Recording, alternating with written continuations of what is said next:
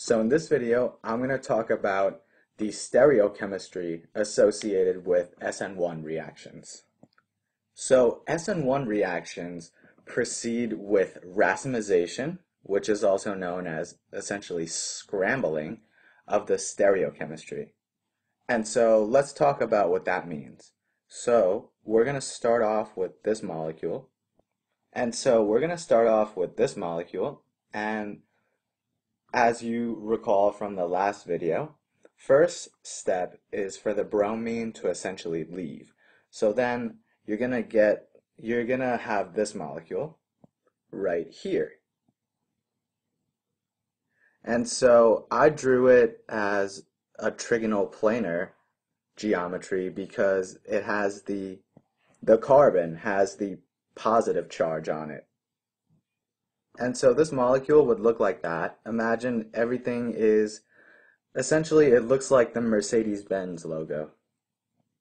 And it's flat, and the name of it is actually called trigonal planar, this geometry.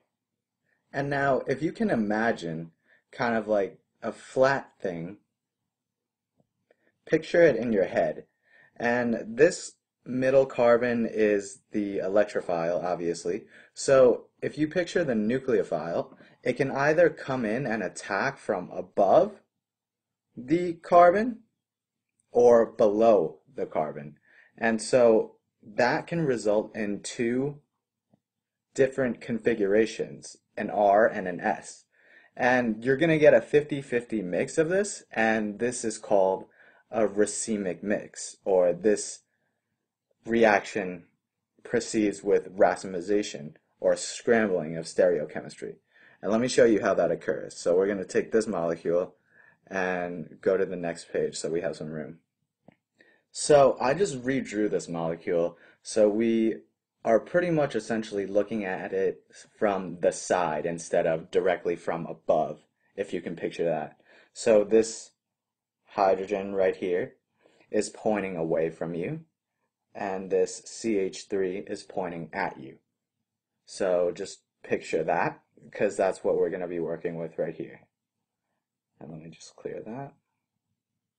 And so now we're going to talk about the two different paths this reaction can take.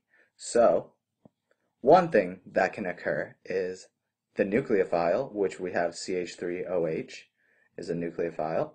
It could come in and attack from the top.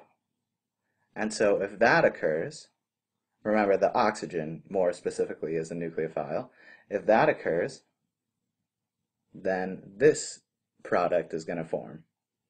So we have this as our final product of the SN1 reaction.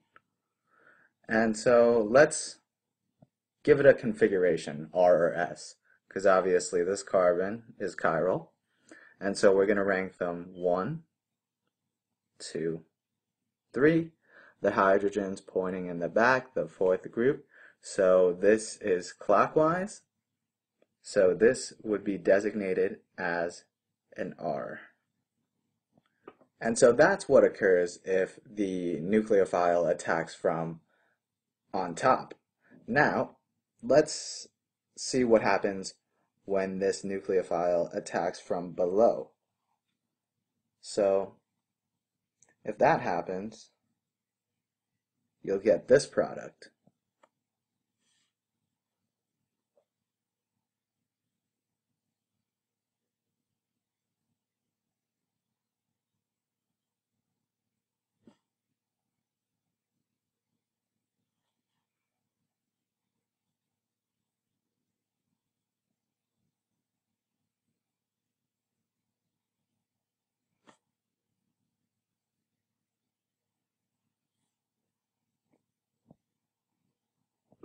And so this is the product you would get. And now let's try and assign a configuration to that. So it would be the same thing, one, two, three. And so as you can see, this one goes counterclockwise, and it would be designated as an S. So some of the config sometimes the configuration is retained, while sometimes it's inverted. And so if you ever have this, um, if you ever have this SN1 reaction, the stereochemistry of the end products will be a 50-50 mix, and that is called a racemic mix. And it's exactly 50-50%. So it's not 49-51, it's exactly 50-50. And that's probably something that's going to be on tests in the future. And so that pretty much sums it up for SN1 stereochemistry.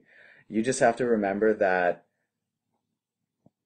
the carbocation can be attacked from both sides, so from above or below by the nucleophile, and depending on which side it attacks from, you could get a different configuration of the final molecule.